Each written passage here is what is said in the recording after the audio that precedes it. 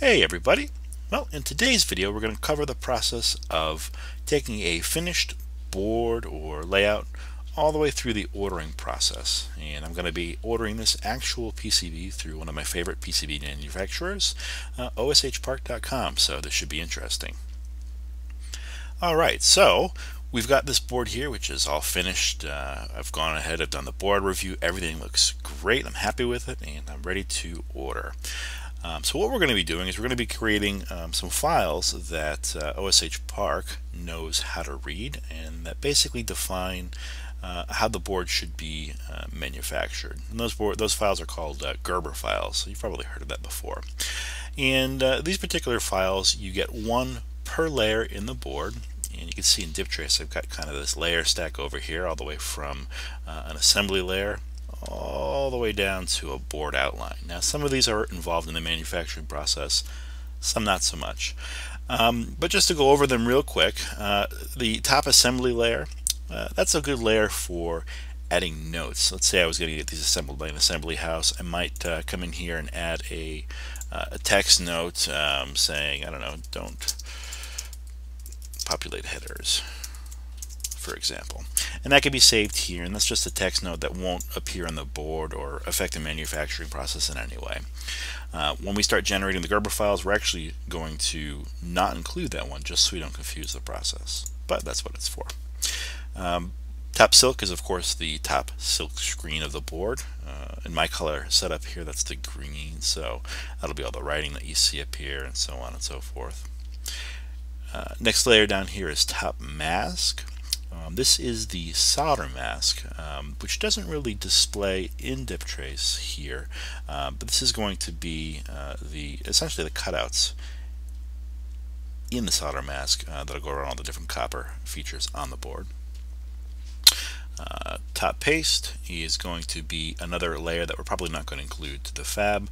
Uh, the, the, paste layer is it's a little bit bigger than each of the copper features uh, for the surface mount parts, and that kind of dictates uh, or would be used for getting a solder paste stencil. We have, of course, the top layer, which is the top copper layer, and uh, this being a two-layer board, there's only going to be two copper layers, top and bottom. And then bottom would be the bottom copper layer. and We can flip over here and take a look at the bottom of the board. Nothing too crazy. Uh, bottom paste, just like the top paste. Bottom mask, again, just like the top mask. Uh, bottom silk, bottom assembly, and then board outline. Uh, the board outline file itself is this one here and this basically just defines uh, the edges of the board. Uh, so when the uh, fabricator goes through uh, they'll know uh, essentially where to cut out our board. Alright so those are our layers and what we're going to do now is export them into Gerber file. So I'm going to go up to File, I'm going to go to Export and Gerber. Now DipTrace is, is really convenient with OSH Park uh, in the export process in that um, I find that I don't really need to change anything uh, when exporting. The default settings, they work good for me. Um, of course your mileage may vary, always recommend double checking, but for me this seems to work out pretty good. Um, you can go through here and you can actually preview the different layers uh, to get an idea of what that particular layer might look like. So for example, if I want to look at the top copper layer, I can click on top here.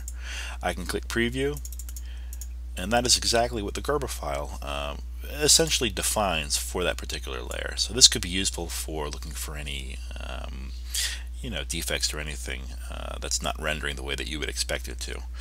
Um, right now just looking at this everything's looking pretty cool I don't have any issues with that uh, I also use it sometimes to view the uh, let's say silkscreen layer.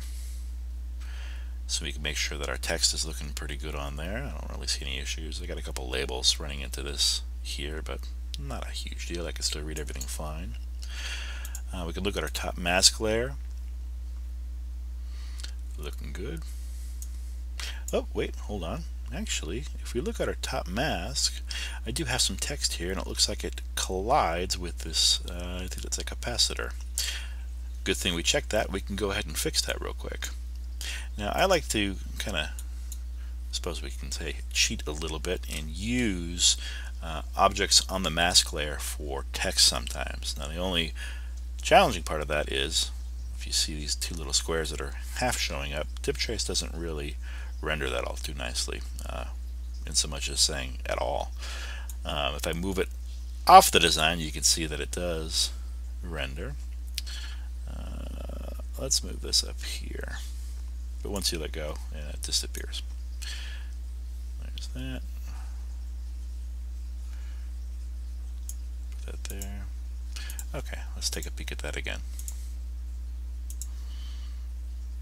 This is why it's always a good good idea to validate. And we'll zoom in a bit. Okay, that's much better. We're not uh, covering anything. That uh, top paste, uh, should be fine. Look at our bottom layer real quick.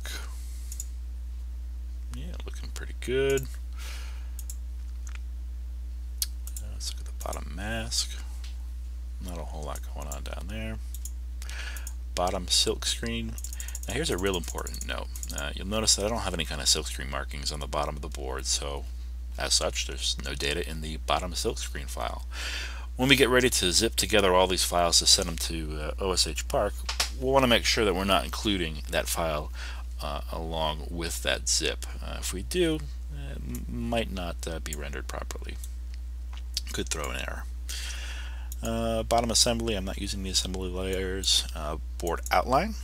Here's that outline of my board. Pretty straightforward. I can see I've been playing around with rounded corners in this design. Ought to look pretty sharp.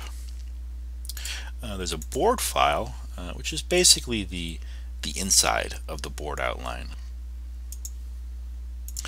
Uh, top dimension, uh, this would be a layer that would be used if I had uh, drawn any dimensions on the board. I don't have any, so they're not going to show up here. Um, this is another type of file, uh, top dimension and bottom dimension, that don't impact uh, the manufacture of the board in any way, so we won't include those in the zip file either. Okay, so we've gone through, we've checked all of our layers, everything looks great now. Good thing we caught that error on the top mask. Uh, that'll save us some wasted boards.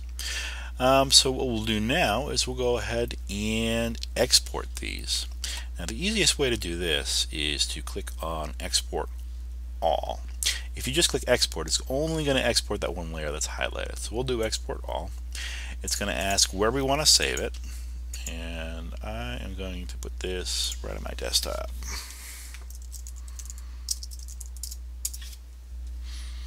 And we're just going to go through and we're going to hit save a whole bunch of times. It's going through the different layers um, and saving them with their default file names, which is fine because OSH Park is quite happy with that. Okay, those are all done. I'm going to go ahead and close this. We're not quite done yet because uh, so far all we've exported are um, files which define the board uh, layers, but we haven't exported the drill file. And it would be kind of nice if our board had holes in it. All right, um, so what I did was I went over to File, Export, and an NC drill. This is just the format uh, of the file, just like a Gerber is one kind of format. Drill files that we're going to use are an NC drill. Again, I'll use the default settings. DipTrace seems to know best here, and I'll go ahead and hit Export All. Now, another difference that you're going to see here is the top and bottom layers are going to be combined into a single file. We're not going to have two files in this case. So we'll go ahead and click Export All, and we're going to get a pop-up. Basically, it's just telling us that um, the tools for these particular drills or, or drill hits uh, haven't been specified yet. Do we want DipTrace to do that for us? Works for me. I'm going to click Yes. It goes ahead and does that, and it creates this through.drl file, and that's our drill. So we're going to save that and we're done. Alright, so now if I minimize this and open up my Gerber's file folder, here we can see all the different files uh, that were created. So what I'm going to do now is go through these and we're going to pick out all the ones that we know we don't need. Now we know we don't need a board file because that was the contents. Uh, I'm not using that in this particular one. Uh, we do want the board outline. We do want the bottom, that's our bottom copper. We don't need bottom assembly because there's nothing there and it doesn't affect the manufacturer. We don't need bottom dimension. We do want bottom mask. We don't need bottom paste because there's not going to be any uh, uh, solder paste stencil created for this. Um, but I, sometimes I like to keep those in there just for my own future reference if I ever want to have a, a stencil made. They're all in the same place. Now here's the gotcha. Remember I don't have anything on my bottom silk layer so I need to include that in the ones that I'm going to delete. Through is my drill file. We definitely want that. We want the top copper. We don't want top assembly or top dimension. We're going to keep top mask we're going to keep top paste and we're going to keep top silk. Okay right click I'm going to delete those because I don't need them. Alright and there's the files that I want. Now we're going to select those and we're going to put them in a zip file. There we go gerberfiles.zip. all right on to oshpark.com we go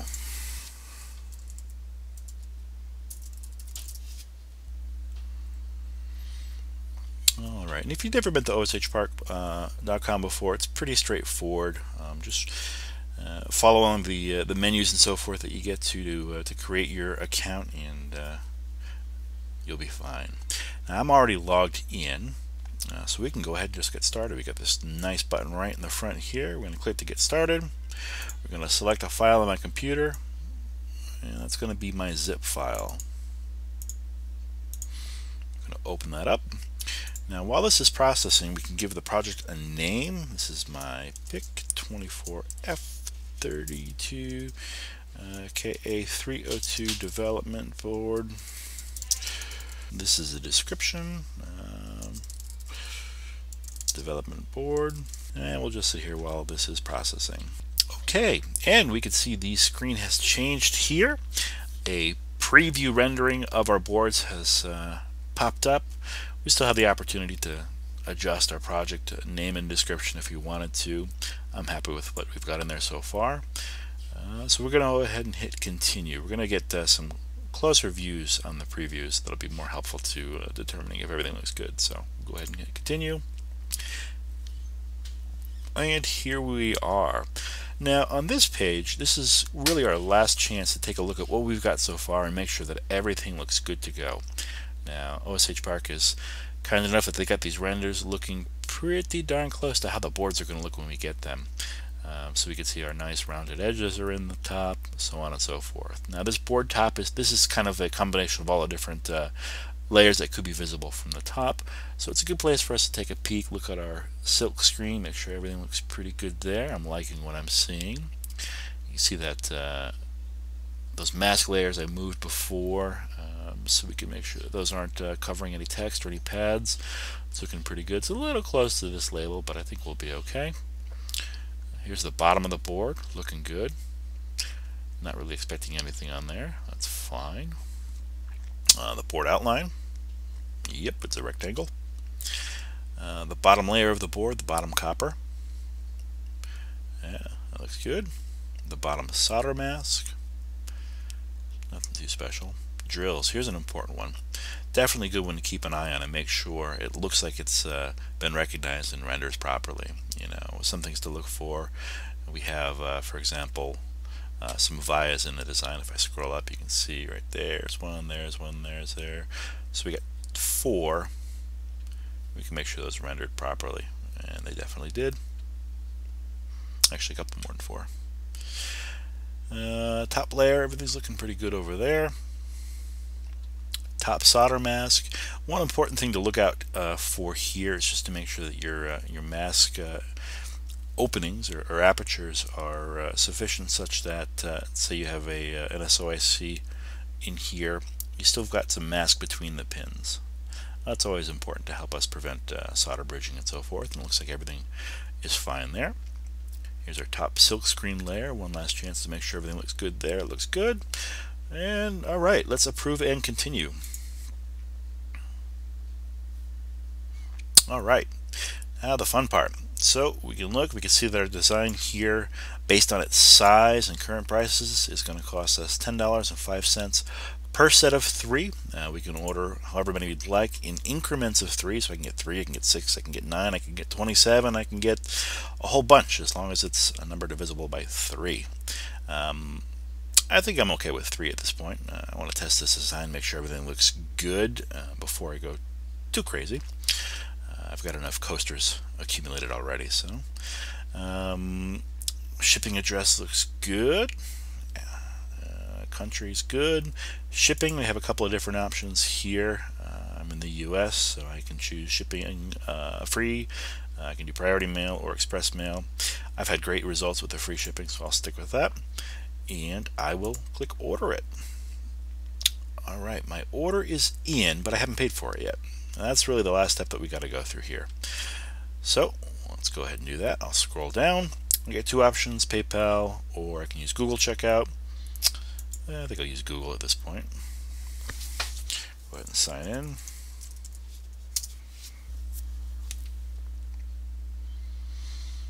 All right, nothing crazy here. Standard kind of order summary. Got the price of my boards for my set of three. Uh, total price looks good. And we'll go ahead and we're going to hit uh, place order now. That's it. My order has been placed and I am done. I ought to be getting an email pretty soon telling me that uh, uh, I guess my payment was received. Um, there's my email from Google telling me that I sent the payment. Uh, other emails that I can expect in the near future is I'll get an email uh, when the board is added to the panel, when it goes off to the uh, the lab, and then uh, yeah, in a couple weeks or so, once everything's back from the fabricator, I will get an email saying it's back. And then I believe there's one more email that tells us when it's shipped. So they definitely keep us well up to date. It's very very nice. Um, but that's it. Our process is done. Hopefully that was uh, pretty straightforward. I know there's a couple of steps there to, to work through, but nothing too, too crazy. Um, but that's it. All right. Thank you for watching, and uh, we'll be back next time with some more DipTrace fun.